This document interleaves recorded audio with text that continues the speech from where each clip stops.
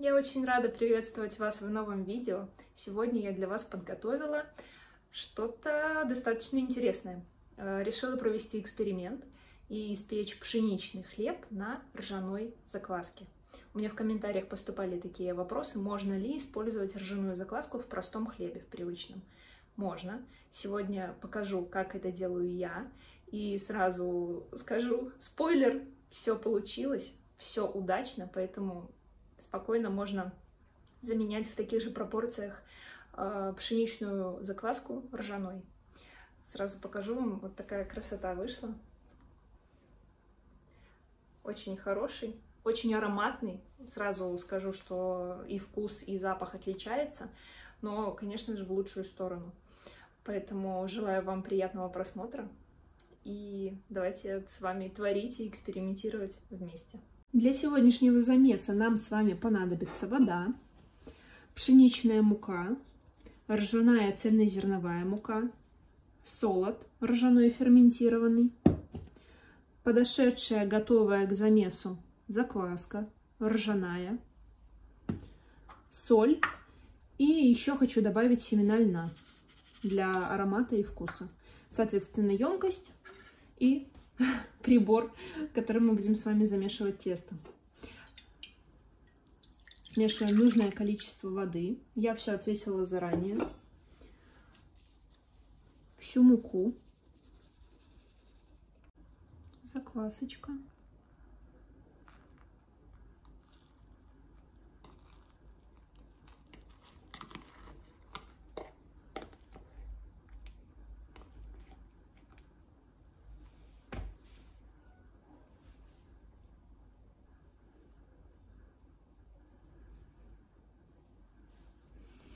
Начинаем с вами потихоньку смешивать.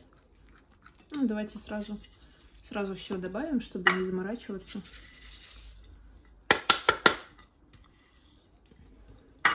Все смешиваем.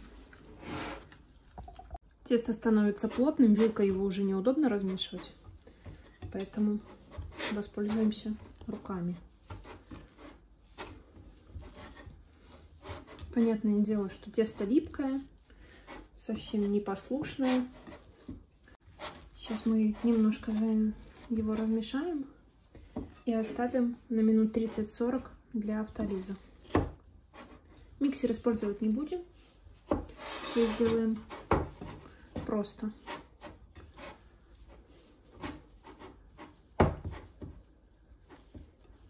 Ну вот.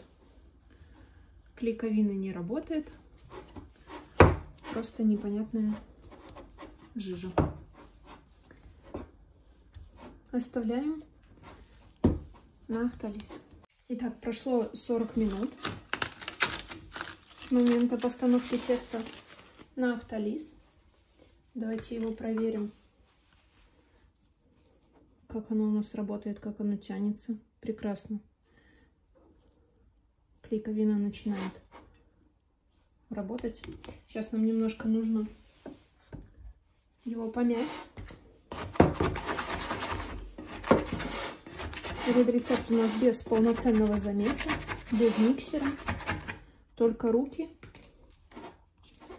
И сейчас нам немножко его нужно порастягивать. Видите, тесто такое достаточно густоватое. Это не есть хорошо. Ну, то есть оно такое прям колом стоит. Я хочу добавить еще воды, так называемую, так называемую воду 2. Здесь у меня 15 грамм. Понемножку вливаю и вмешиваю воду. Ну, вот, потихоньку вмешиваем. Добавляю оставшуюся. И вмешиваю дальше. Ну вот, буквально одну минуту я его помесила, вода хорошо вмешалась. А, и не забывайте, что следует обращать внимание именно на вашу муку, на ту, на которой вы печете. Вам может быть вполне достаточно этих 200 грамм воды, и вода 2 не понадобится. У меня мука не слабая, поэтому пришлось добавлять еще во воду. Вот сейчас тесто хорошее, не жидкое, не густое. Мы оставляем тесто дальше на брожение. Сейчас через 40 минут будем делать первую админку. Если что, температура в помещении у меня 24 градуса. И при 24 градусах оно у нас все время будет бродить. Все, оставляем, через 40 минут делаем админку. Наступило время нашей первой админки. Всего, я думаю, будет у нас 4. Смачиваем руки в воде. И очень простыми движениями подгребаем сразу все наше тесто. И начинаем его натягивать и подкручивать. Таким образом скручиваем, скручиваем его. Вроде, чтобы не випли руки, периодически смачиваем водой.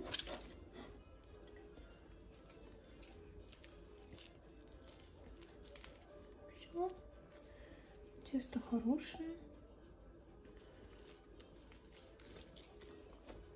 Оставляем его дальше на брожение еще на 40 минут. Делаем вторую админку.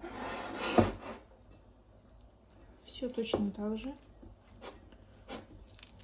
Мокрыми руками растягиваем тесто.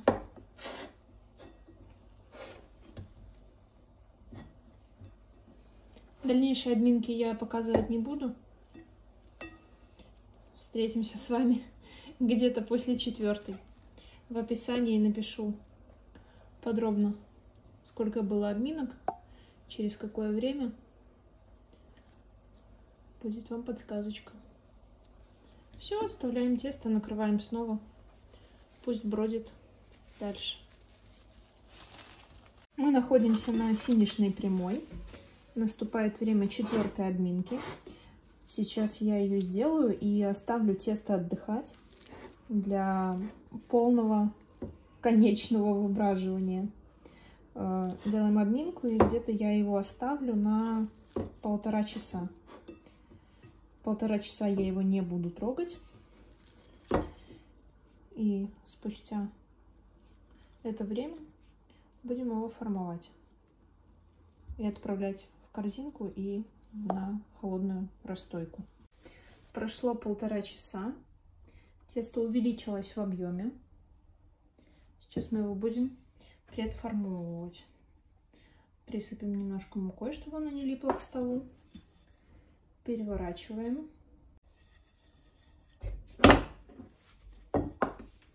Так. Прибираем немножко тесто к центру. Переворачиваем его. И при помощи скребка округляем, подкручивая от края к центру. Можно также руками. Не сильно его подтуживаем. Тесто мягенькое, хорошее. И оставляем его на 15 минут, чтобы оно расслабилось. И потом будем делать формовку. Прошло 15 минут, я подготовила корзинку, в которой у нас будет расстаиваться тесто. Присыпаем его мукой. Переворачиваем. Буду использовать самый простой способ формовки. Просто скрепляем его. И закручиваем. Не очень туго, чтобы не полопались все пузырьки воздуха внутри теста. Все, быстро, просто.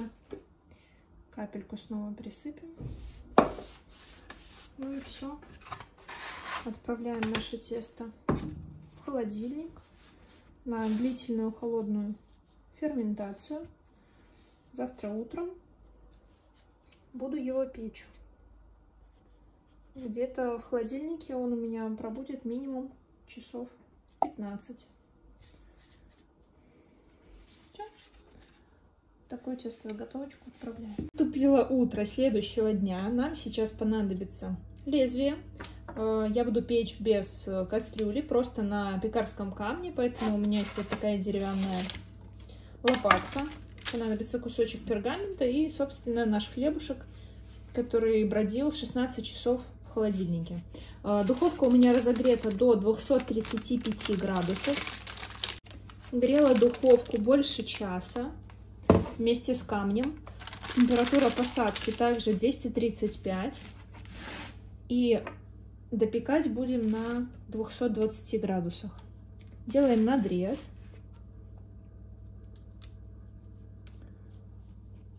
Очень люблю такой держатель. Мне удобно. У лезвия немножко изгиб. И хорошо как раз тоненько заходит под тесто. Все, отправляем на 15 минут 235 градусов и дальше допекаем 15 минут, температура 220. Вот такой чудесный хлебушек, красивый, румяный у нас с вами получился.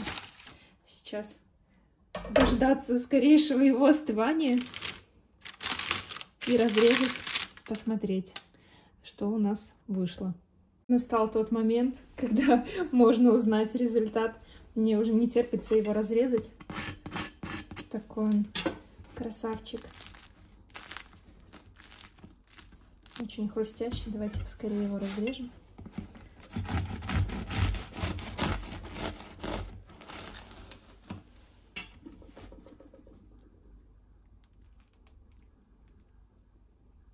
Прекрасно.